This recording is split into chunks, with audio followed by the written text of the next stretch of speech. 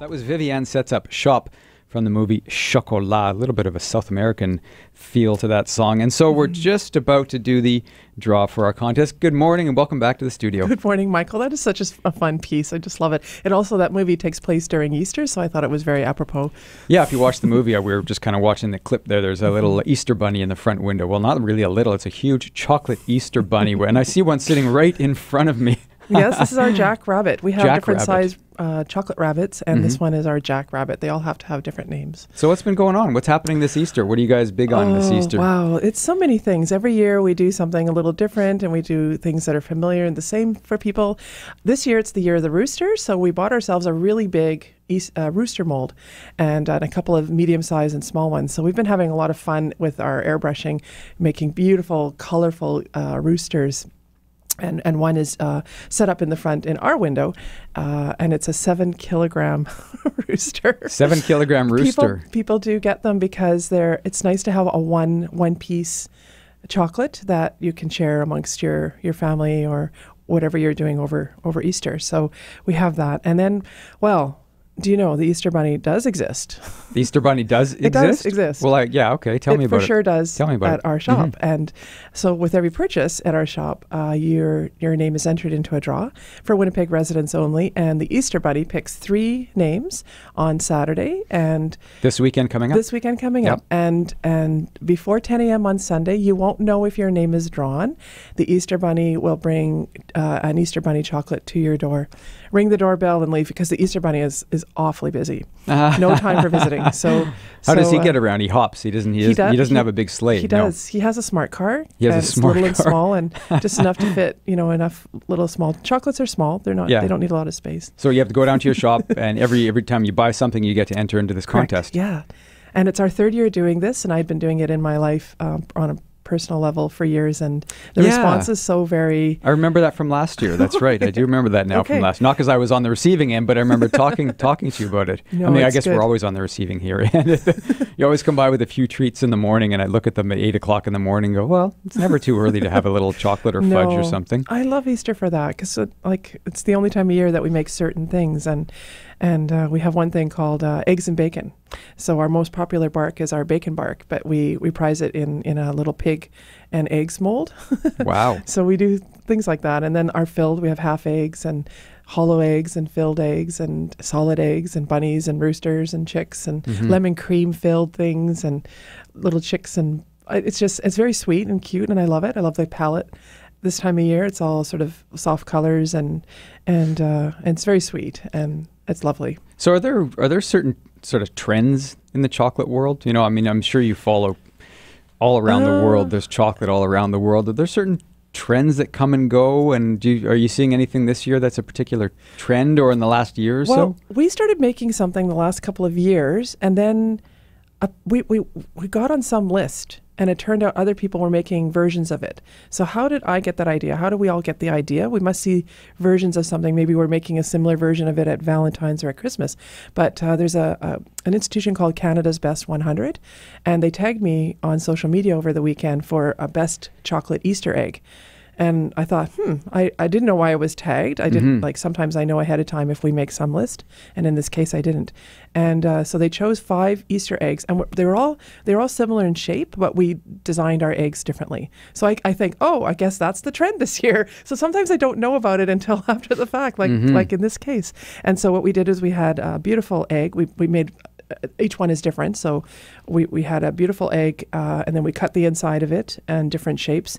And then you'll see it's almost like a Fabergé egg, so that you're looking on the inside and seeing something on the inside. So we've had little bunnies on the inside. We've had uh, we had made um, we did one that kind of looked like a Van Gogh uh, egg to us. Uh, it was a, a, a bluish egg uh, with sort of cloudy features on the outside of the egg, and on the inside we had made. Uh, um, a sunflower with really bright yellow petals and, and then almost like a bee a, a bee a bee kissed center to it. It was Mm. very very beautiful, and that was one of the eggs that they they chose two of our eggs, and that was one of them that They they, chose two of the eggs. Mhm, Wow, They choose two that's of our eggs, and then we had one with a skull in it.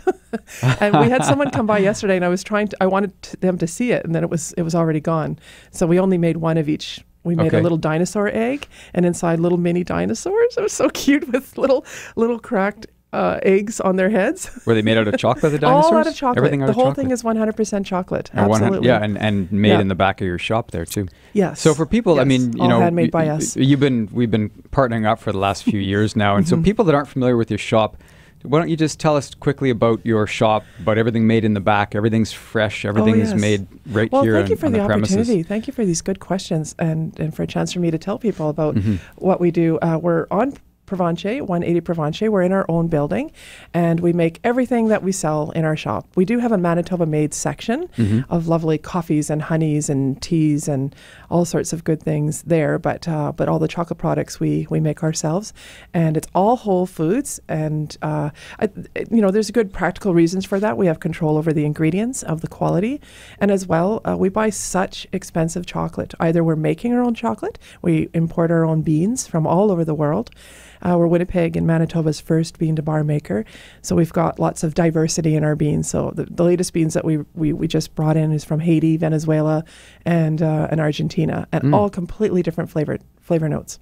So there's, there's that. And we have single origin and single plantation chocolate, and then our quote unquote regular chocolate. So with that, we do different things. We're the only chocolate shop, if not the only chocolate slash bake shop, that makes a variety of things that we make. We make cakes, desserts, gelato, uh, cookies, macarons, cupcakes, and then of course bonbons, bars and barks, and and beautiful desserts and showpieces. We just Mm-hmm. recently made beautiful dessert for for uh, an event for the Royal Winnipeg Ballet this past Saturday in the theme of the Vespers Ballet. Wow. Very cool. So so it's important to use whole foods with Mm-hmm. our really expensive chocolate because you wouldn't want one to undermine the other. Yeah. Now you are the voice, and you are the face, and you're the founder of this. Mm-hmm. Give a shout out to some of the some of the people who help you bake this stuff, because I, every time I go in there, I see them. and You've got amazing staff. They're so friendly. do. So ju- just quick kind shout and out. good. Thank yeah, you. Go Oh, ahead and mention their names. Well, there's Ray and Paul at the front who have such grace and patience with with all the the good people that come and visit our shop, and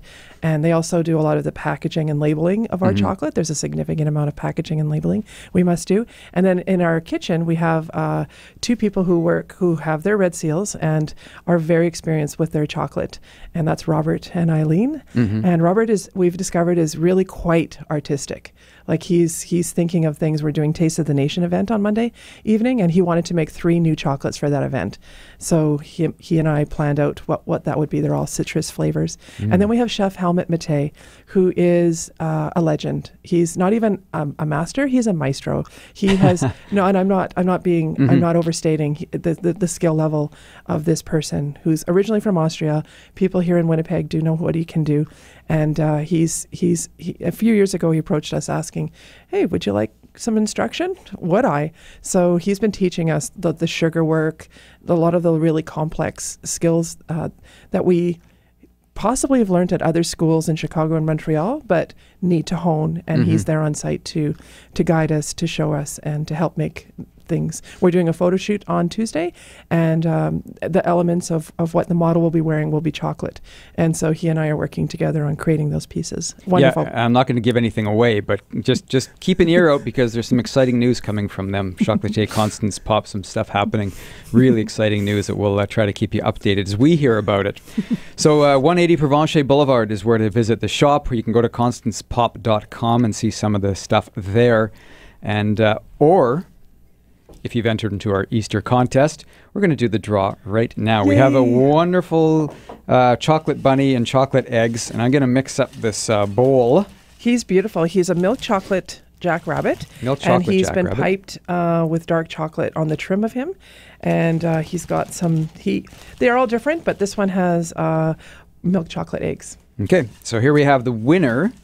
Okay. We'll do the draw. I'll pass it over to. Constance. Lots of names. She's doing this. She's digging through, and she found the name Naren Lee uh, Kreiderman.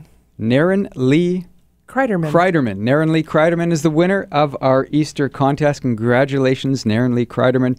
We will be contacting you as to how to uh, get uh, your prize. If you want to pick it up before Easter, it's probably got to be today. Anyway, we'll contact you. Thank you very much for coming in, Constance. It's- It's, always a pleasure. it's it's such a, a a wonderful thing to be able to be interviewed by you and to be here at Classic 107, and and I look forward to it uh, every time. It's Yeah. an exciting thing, It is. and I love when your your listeners come and visit us. I think that's really that's really a nice um, completes the circle. Well, it wasn't a funny last time. I think I popped. I, it seems to be a couple times where I've popped in to see you after work, and there's been somebody who's heard the show, heard us talk about stuff. That's fantastic. I know. I love yeah, that. I like when it works out that way. That's wonderful. Mhm. Well, maybe I'll be coming to see you today.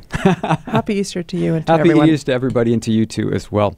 So I'm going to play you a little music, and this is a little French music. Here is Charles Trenet with La Mer.